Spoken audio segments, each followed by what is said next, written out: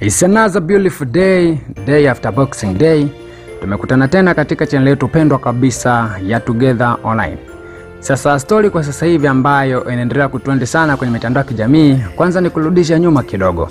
Unajua jana ilikuwa ni siku fulani hivi, siku ya kupokea mizawadi mbalimbali ya miji zawadi kutoka kwa marafiki, miji zawadi kutoka kwa wazazi, kutoka kwa wachumba, kutoka kwa mume au mke, kutoka kwa wapenzi, yani kwa mtu yoyote yule ambaye unahisi unapatana naye sana.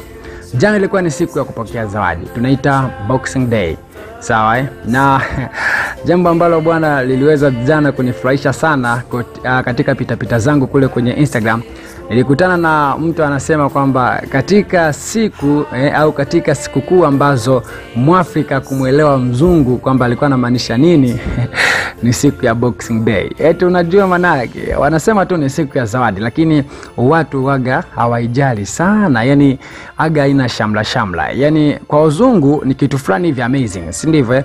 Ya kwa uzungu unakuta sikukuu kama hii unakuta hapo serious kweli kweli wanaisherekea, lakini huku kwetu aa, unakuta yani, yani tupo tupo tu, ni wachache sana ambao waga wanaitekeleza na kuitendea haki.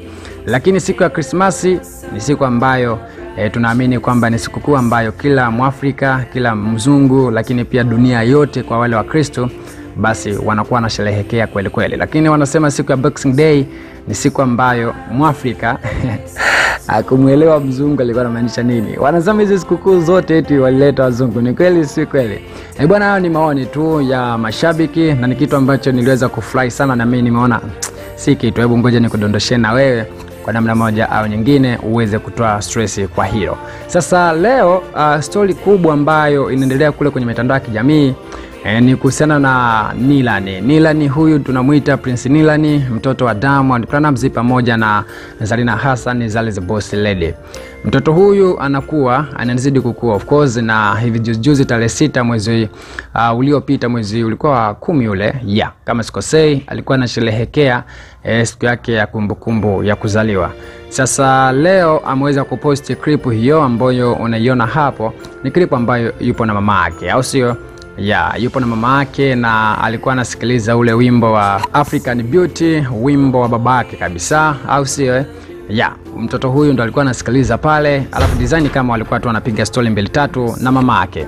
Kwa hiyo watu wanasema kwamba design kama uh, mwaka elfu mbili na ishirini huenda hata ule ugomvi wa Diamond Platnumz pamoja na Zarina Hassani e, ukawa umeisha kabisa, unajua zile. Na moja kati ya comment ambayo uh, waliweza kuikomenti watu uh, ambapo Zarina Hassan alikuwa ameandika ujumbe wake ule mrefu sana kwamba mwaka 2020 ataenda kufanya mabadiliko eh, kwenye maisha yake, ataenda kuanzisha flow mpya maisha yake na vitu kama vile. Aa, kuna mtu alikomenti kwamba unaonaje kama pia ukimsamehe Diamond Platnumz mwaka 2020 eh, ukampa ruksa ya kuja kuwasalimia watoto.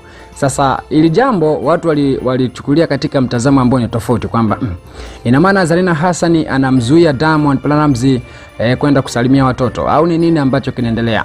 Lakini Zarina Hassan kitu ambacho aliweza kukijibu pale, alijibu kwamba mimi binafsi sijawahi kumzuia Diamond Platnumz kuja kusalimia watoto, au sio?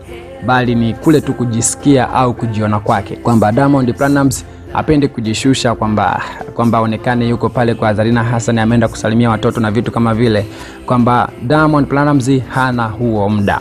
Kwa hiyo Zarina Hassan alisema kabisa kwamba yeye hana tatizo na Diamond wala yeye hajamzuia Diamond kwenda kusalimia watoto, lakini Diamond Platnumz ni yeye tu kukosa muda na kujisikia kwake ndo kunakomsababisha mpaka asiende kusalimia watoto, au sio?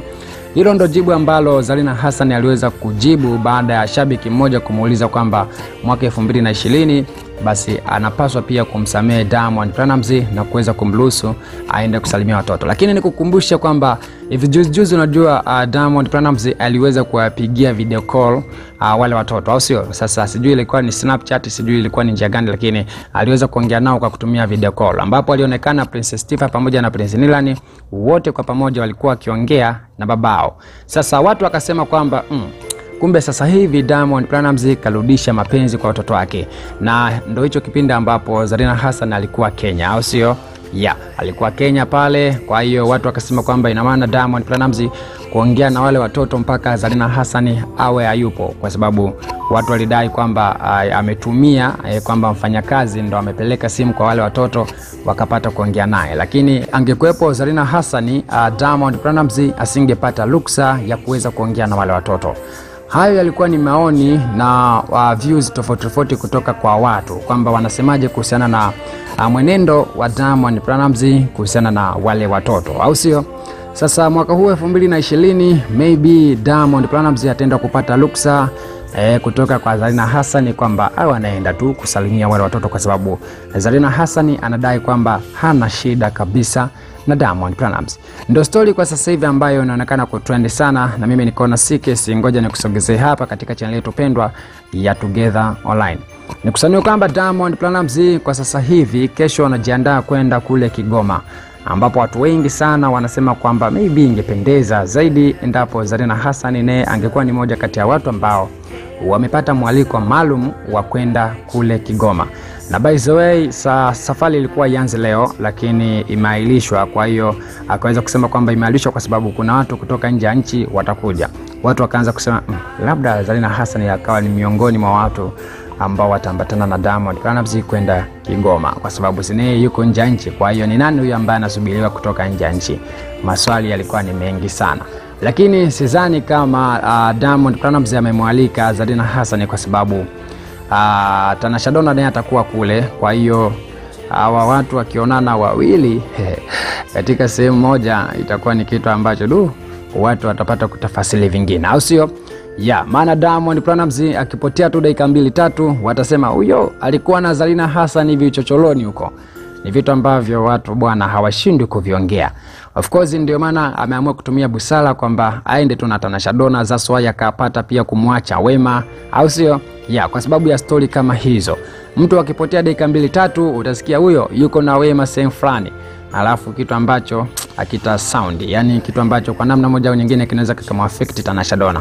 Kwa hiyo ndio maana akachukua tu wale watu e, mafansi wa kawaida, au sio? Ya, na wale watu ambao anahisi e, walikuwa na msaada kwake kipindi kile hajatoka, na sio kwamba Wema alikuwa hana msaada, lakini ni tunaweza tukasema kwamba ni sababu tu ambazo watu wameweza kuzielezea kwamba inaweza kawa pia amekwepa maneno maneno ambayo yatazuka kule. That's pia hajapata kumchukua Hamisa Mobeto kutokana na kwamba Tanasha Donna tayari yupo naye kule au atakuwa naye kule, kwa hiyo Uh, zile kupotea dakika mbili tatu, hata kama akipotea kwa sababu hajaenda na mtu yoyote kule ambaye uh, ni ex wake mm, design kama uh, itakuwa na shida, au sio? Shusha komenti yako hapo chini kuhusiana na story ambayo nimekuletea, lakini ukisubscribe katika channel yetu utakuwa mtu wa kwanza kujipatia updates zote ambazo si tunakuwa tunapita nazo ndele. Niseme tu chao, tukutane tena muda mwingine endapo Mola akijalia.